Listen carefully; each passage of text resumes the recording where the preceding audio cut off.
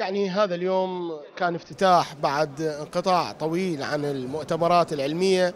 صح أن الحضور محدود ولكن هي بداية خير. وإن شاء الله مؤشر على زوال الظروف الصعبة اللي عشناها خلال هذا العام العام المنصرم فيما يتعلق بالآثار المترتبة على الجائحة. هذا المؤتمر اليوم آه، مؤتمر نوعي مهم. لأنه يتناول الكيمياء وبأقسامها المتعددة. هناك سبعة محاور في هذا المؤتمر بمعنى أن ميزة هذا المؤتمر أنه آه، حاول أن يغطي كل جوانب الكيمياء واستقطب لأجل ذلك آه، عدد من الأساتذة المرموقين في مجال الكيمياء والمعروفين في مجال الكيمياء. وأيضا لم يتوقف عند هذا الحد بل كانت هناك آه، استذكار واحتفاء بالأساتذة الذين آه، قدموا حياتهم والجزء الكبير من عطاهم العلمي في كلية العلوم وقسم الكيمياء.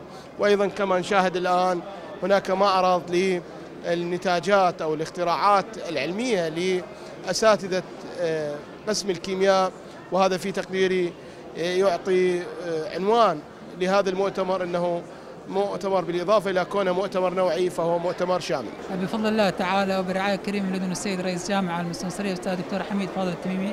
عقد هذا اليوم المؤتمر الدولي للكيمياء وتحت شعار الكيمياء لغة العالم بمشاركة 73 بحث لباحثين من دول عالمية جامعات عالمية وجامعات عربية وجامعات عراقية بمشاركة عدد كبير من الباحثين.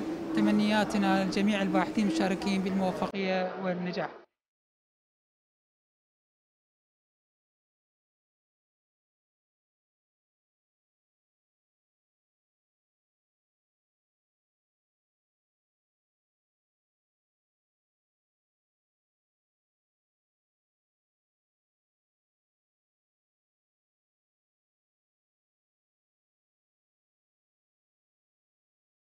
الحمد لله وفقنا الله اليوم في إنهاء آه، الجلسة الافتتاحية للمؤتمر ولمسنا آه، اهتمام كبير من الحضور وإن شاء الله عندنا الخطوة الثانية بعد تقريبا ساعة من الآن تبدي عندنا إن شاء الله الكينوت سبيكر. من آه، دولة إيرلندا. أيضا موضوع شيق.